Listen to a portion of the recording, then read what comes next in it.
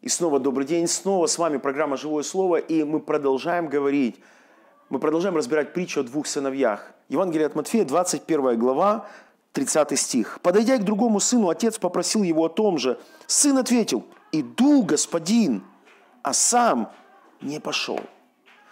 Знаете, друзья, мне это снова и снова напоминает то время, наше время, время, в которое мы живем сейчас – так много, друзья, людей, которые открывают свое сердце навстречу Богу и говорят, Господи, Господи, так прекрасно, так здорово, мне так нужно было это, Господи, Ты нашел меня, Ты вытащил меня из грязи, Ты достал меня из тенистого болота, Ты омыл меня своей кровью, Ты очистил, Ты дал мне совершенно новую жизнь, Господи, это так чудно и так прекрасно. И вот, вот, мы говорим, все, теперь, Господи, что скажешь мне сделать? Я пойду.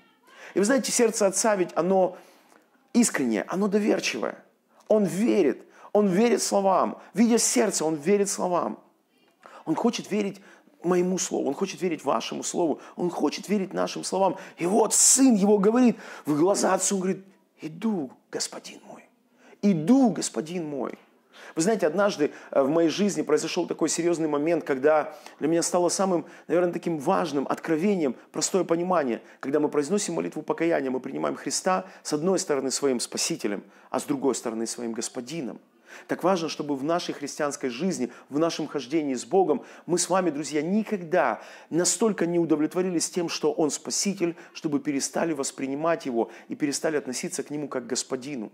Так важно, чтобы наш, в своем сердце мы всегда поняли, понимали и помнили о том, что с одной стороны Он являет к нам свою безграничную, безмерную, безусловную любовь, но с другой стороны Он ожидает, что в нашем сердце – мы будем всегда полностью покорены Ему. Мы будем говорить, говори мне, Господи, что хочешь ты, что ты хочешь, чтобы наши слова они не были тщетными, чтобы наши слова не были пустыми, потому что Бог собирается сделать очень много через жизнь каждого из нас.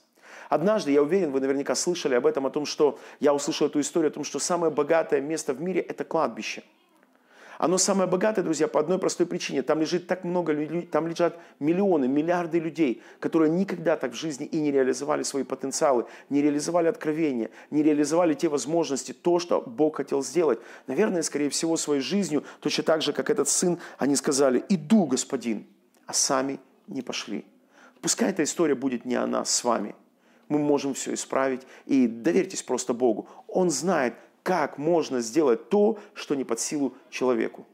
Завтра мы с вами будем завершать эту историю. Пусть Бог благословит вас. Смотрите предыдущие выпуски и подписывайтесь на наш канал, друзья. ХСН «Новое время». Увидимся с вами с Богом.